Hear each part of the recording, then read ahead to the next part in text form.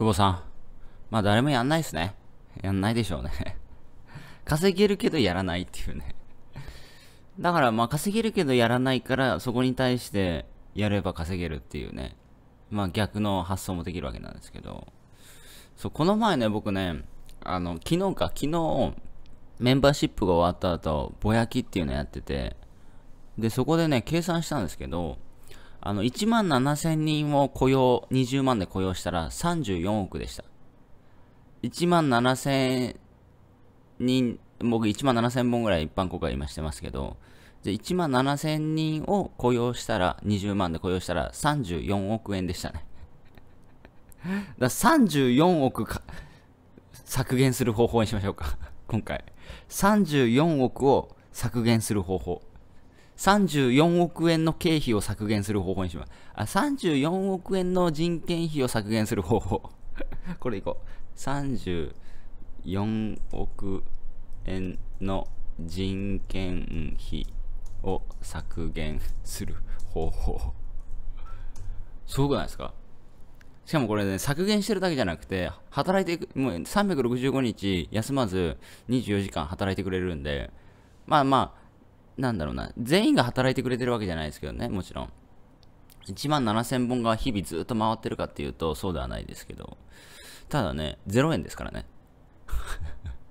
0円なんで、これはね、僕ね、僕、革命だなと思うんですよね。革命。めちゃくちゃ革命だと思うんですよ。で、さっき僕ね、瀬戸康史さんっていうね、結構有名な YouTuber の方も昔からやってるんですけど、あの、瀬戸康史さんっていう方の話をちょっと聞いてたんですけど、なんか、なんか、あれらしいですね。僕知らなかったんですけど、アップルで新しいヘッドホンが出たらしいんですよね。去年。え、アップルヘッドホン出してたんだ？みたいな。で、それをレビューしてたんですけど、なんか瀬戸康史さんが曰く、なんかもう注文して届いてたけど、あの、開封できなかったと。でなんで開封できなかったかっていうと、まあ、動画撮ってないから。動画撮らずして開封するのはないと。だからずっとなんか1月届いてたけどずっと放置してて、で、動画撮るために開封するみたいなね。まあ、何が言いたいのかっていうと、あの、開封するという作業ですら、あれじゃないですか。お金になるわけじゃないですか。なんか商品買ってね、開封するというものでもお金になってるわけじゃないですか。で、開封動画をアップロードして、それでチャリンチャリン行って、また物が買えて、また開封動画を作って、またその開封動画で金稼いで、で、またお金も、なんやねんこれみたいな。何なんだこのルーティンみたいなね。すごないですか？開封動画を撮って、その開封動画でお金が入ってきて、で、そのお金でまた物を買って、開封、無限ループですね、これね。すごいなと思いますよね。うん。だからなんだろうな、なんか、なんかいろいろな方向性で物事を見れるかどうかってめちゃめちゃ大事だと思うんですよね。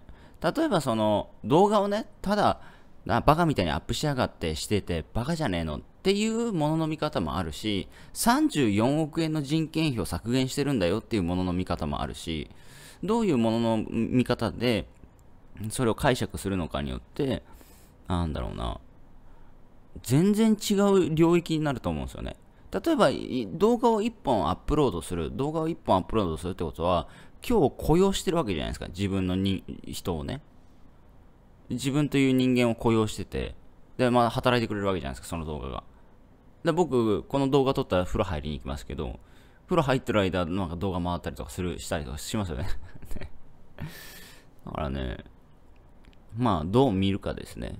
な僕はさすがに1億本はね、1人では無理だと思うんですけど、10万本はアップロードもできる。確定ですね、生きてれば。生きてれば10万本はこのペースでいけばアップロードできるなっていうのはもうデータとして出るの、出てるので、まあ10万人を生涯で雇用できるかなということですね。ただで。だからその、人を雇用するときって、あの、雇用するまでのリソースも、あの、お金も必要わけですよ。なんか、求人広告費とかね。あとは、面接の面接会場、会場だ、用意だったりとか、その面接官の用意だったりとか、そこにランニングコストがかかってるわけですよね。面接、あの、雇用するまでのコストも。で雇用した後のコストはもちろんあるしリスクもあるし辞めていく場合もあるからそう考えると、まあ、YouTube の自分のクローン人間って辞めることはないですよねもう絶対やめないですよね。まあ、Google のアカウント、YouTube のアカウントがバンされたらあれですけど、あの一生家畜でき、家畜にできるっていうね すごないですか。しかも何の文句も言わずに、家畜として一生働かせられるっていう。すごくないですか、これ。いってらっしゃい。